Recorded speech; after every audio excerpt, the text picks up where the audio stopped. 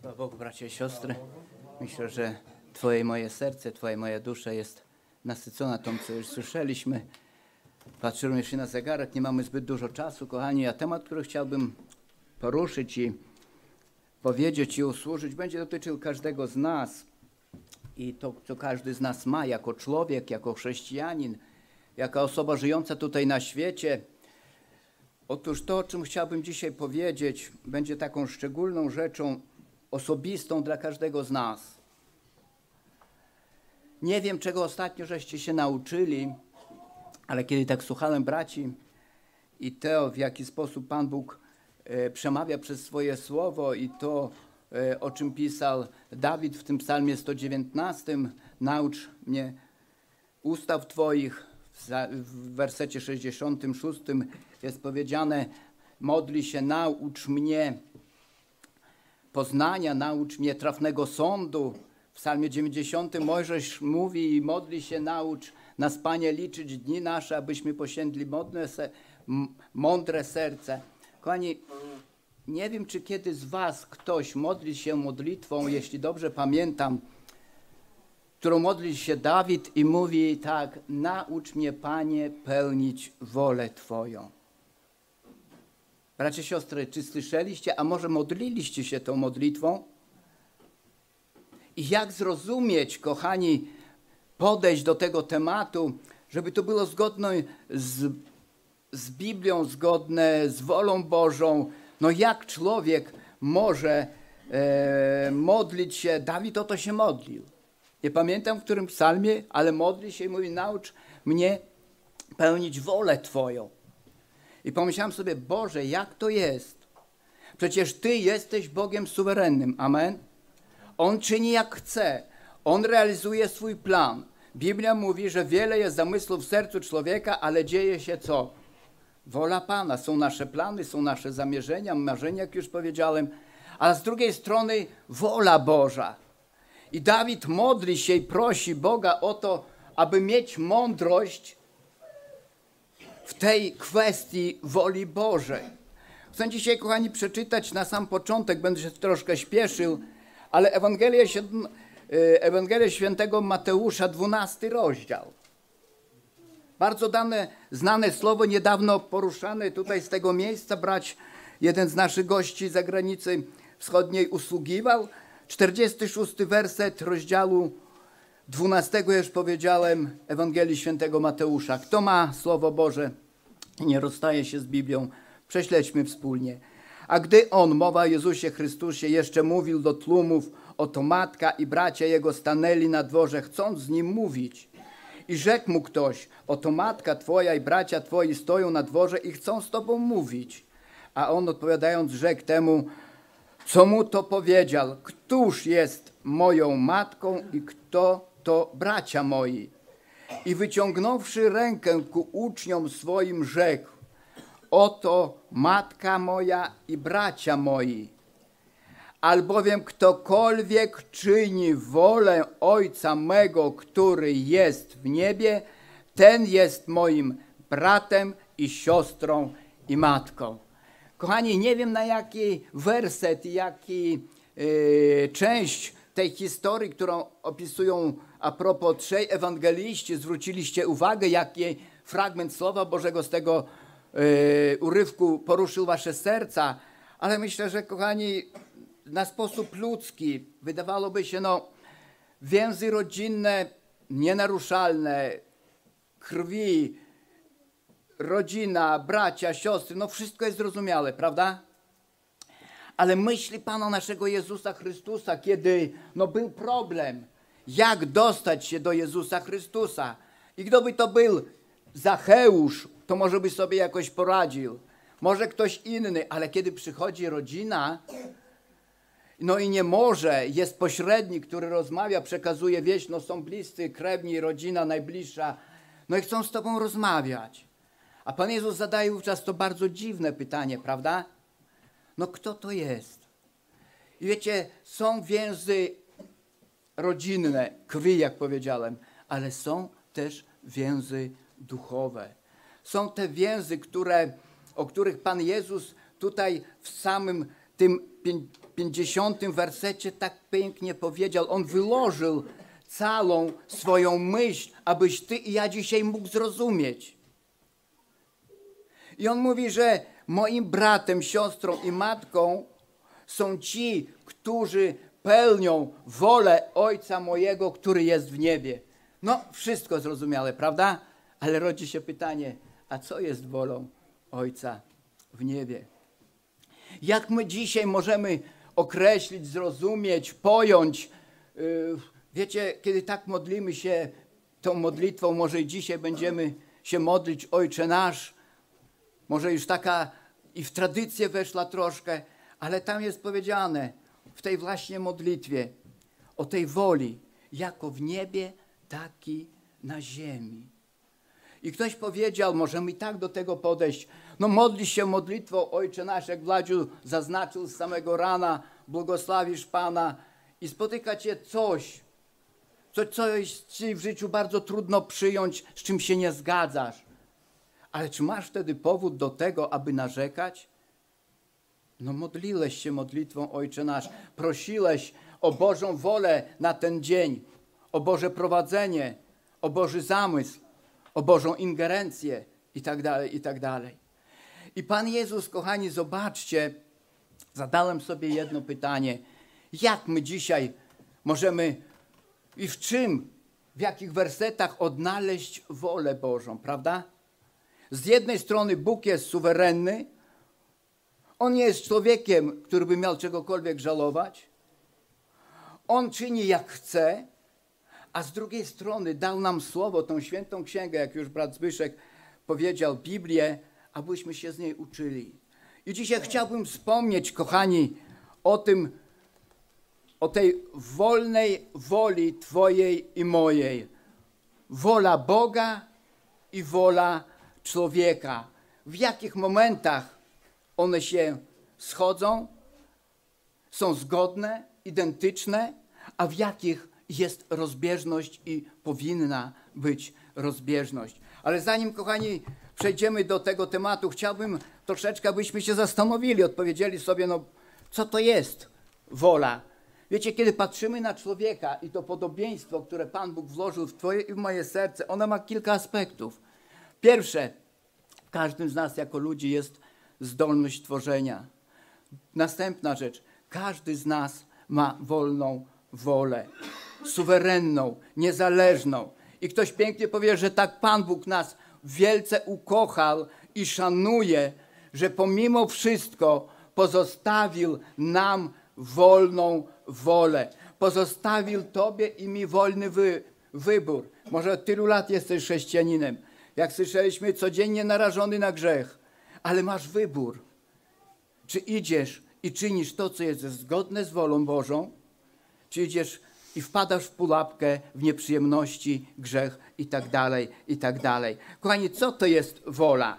Co to jest wola człowieka, kochani? Jest to moja i Twoja zdolność do podejmowania i kontrolowania swojego postępowania w celu zadania własnych działań, kontrolowania własnych działań. Jeśli Bóg coś zamierzył, to On do, dokona wszystkiego, aby to zrealizować. Jeśli Bóg rzekł, to później co jest powiedziane? I stało się. To się wykonało, to wypełniło, bo za tym była i w tym była Boża wola. Kochani, a jak nam, chrześcijanom, wypełniać Bożą wolę?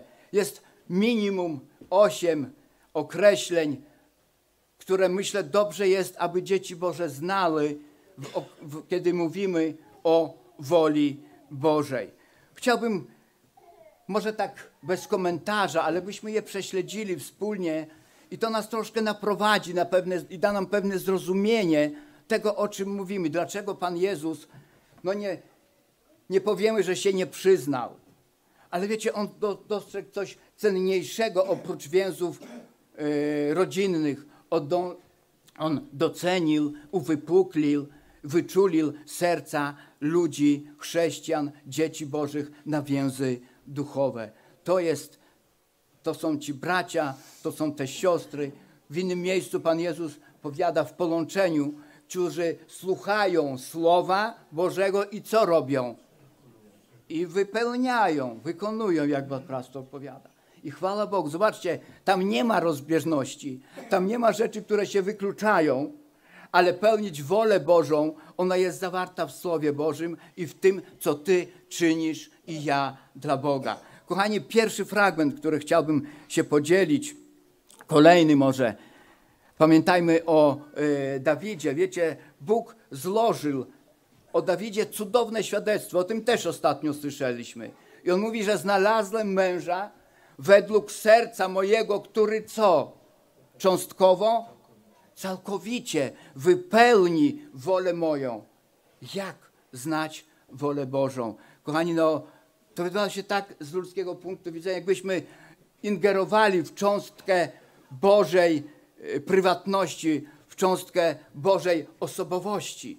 Ale zobaczmy na te wersety, o których chciałbym dzisiaj również się podzielić. I pierwszy fragment, kochani, kolejny fragment, to będzie list drugi apostola Piotra 3,9. List apostola Piotra, drugi 3,9. To będzie pierwsze określenie Bożej woli do Twojego i mojego życia. Jest tam powiedziane tak.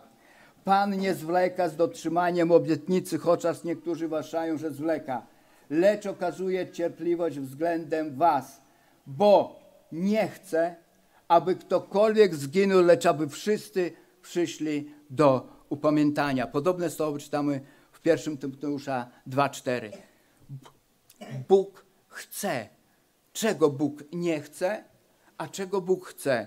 Bóg chce, aby wszyscy przyszli do upamiętania, aby wszyscy, aby nikt nie zginął. Nie jest wolą Ojca, Pan Jezus powiedział, aby zginął jeden z tych maluczkich. Boża łaska, Boża miłość, Boże miłosierdzie, Boża litość jest dla każdego człowieka. Ale również i od nas zależy, czy z tego skorzystamy. Te dary są dzisiaj aktualne. Kochani, druga rzecz. To, to dotyczyło i dotyczy zbawienia Twojej i mojej duszy. Druga rzecz odnośnie ofiary. Wiecie, kiedy tak myślimy e, w Starym Testamencie, wszystkie ofiary, które były, nie wiem nawet ile z nich pamiętacie, ale kiedy patrzymy na list apostola Pawła do Rzymian, 12 rozdział, zobaczmy, tam jest cudowne Boże Słowo, którym apostoł Paweł się dzieli i myślę, dla nas ono też wniesie błogosławieństwo. Jest to apel, wezwanie apostola Pawła i on tak kategorycznie, zdecydowanie mówi i mówi, wzywam was wtedy, bracia, przez miłosierdzie Boże, abyście ciała swoje składali na co? Na ofiarę żywą, świętą, milą Bogu, bo taka winna być duchowa służba wasza. I na tym nie kończy. A nie upodobniajcie się do tego świata, ale się przemieńcie przez odnowienie umysłu swego, abyście umieli rozróżnić, bracia i siostry, co jest najpierw powiedziane. Abyście umieli, potrafili, mieli tą zdolność zauważenia w swoim osobistym życiu, jak już bracia powiedzieli, nie tak łatwym, bo jest i smutek, czasami przygnębienie, niechęć. Myślę, że każdy z nas przez to przechodzi. Ale pierwszą rzecz, o której apostoł Paweł pisze, abyśmy umieli rozróżnić, co jest wolą Bożą, co jest dobre, mile i doskonale. Mówiliśmy już o zbawieniu, mówiliśmy o ofierze, ofiarą milą Bogu w Starym Testamencie Dawid się tam modlił, jest duch skroszony, czyli uniżoność, skromność i skłanianie się do małych. Kochani, na trzecia rzecz na określenie woli Bożej, w czym przejawia się i czym jest, to jest napełnienie duchem. Napełnienie duchem, list Efezjan 5 rozdział, 17 werset list apostola Pawła do Efezjan, piąty rozdział. Och, myślę, że wszyscy to znamy, ale przeczytam. I jest tam powiedziane tak, 5, 17. Dlatego nie bądźcie nierozsądni, ale rozumiejcie, jaka jest wola Pańska. I nie upijajcie się winem, które powoduje rozwiązłości, ale bądźcie co? Pełni ducha. Zobaczcie, apostoł Paweł łączy te dwa wersety. One w gruncie rzeczy, jeden i drugi, one wspólnie się zazębiają. One wspólnie przynoszą błogosławieństwo. One wspólnie ubłogosławiają Twoje i moje życie. Jeśli chcesz i pragniesz być pełen ducha, żyć dla Boga, to jest powiedziane, umiesz i chcesz i powinieneś rozróżniać i rozumieć, co to i jaka jest wola Pańska do Twojego i mojego życia. Kochani, kolejna rzecz to jest uświęcenie. Pierwszy Tesaloniczan 4:3. Pierwszy Tesaloniczan, kto ma, tak śpieszę się troszeczkę, czwarty rozdział i trzeci werset. Taka jest bowiem wola Boża, uświęcenie wasze, aby się powstrzymywali od wszeteczeństwa. Taka jest wola Boża. Bracie, siostry, o czym mówi apostoł Paweł? On odsłania jeden z szczególnych przejawów Bożego miłosierdzia. To jest to, co dzisiaj i w czym dzisiaj chrześcijanie powinni gustować, co powinni czynić i za czym powinni tęsknić. To jest życie w świętości, w uświęceniu, w uniżeniu i w służbie dla Pana. Kochani, następna rzecz to jest poddanie się. Pierwszy list Piotra 2:13. Pierwszy list Piotra 2:13. Bądźcie poddani wszelkiemu ludzkiemu porządkowi ze względu na Pana, czy to królowi jako najwyższemu władcy, czy namiestnikowi przezeń wysłanych dla każdego zloczynu, dla ukalania pochwały, którzy dobrze czynią. Bądźcie poddani wszelkiemu porządkowi ze względu na Pana. Kochani, a więc moje i Twoje poddanie, albowiem piętnasty werset, ten najważniejszy, albowiem taka jest wola Boża, abyście dobrze czyniąc zamykali usta niewiedzy ludzi głupich. Zobaczcie, czasami nie trzeba słów.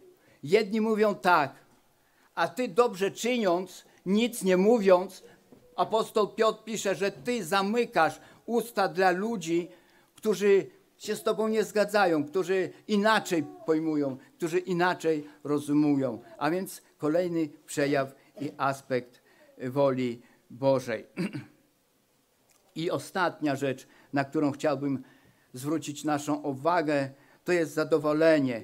To jest pierwszy Tesaloniczan 5:18. Zmierzamy do końca. Pierwszy Tesaloniczan 5:18. Zobaczmy, co tam jest powiedziane w Słowie Bożym, abyśmy mogli się przyjrzeć, jak to już bracia powiedzieli, w zwierciadle Słowa Bożego. 5:18.